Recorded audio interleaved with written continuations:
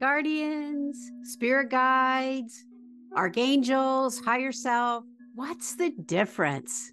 How do you connect with your guides? Join me in this upcoming masterclass where I'll be sharing all about your guides and how you can access them to bring in the messages of your soul.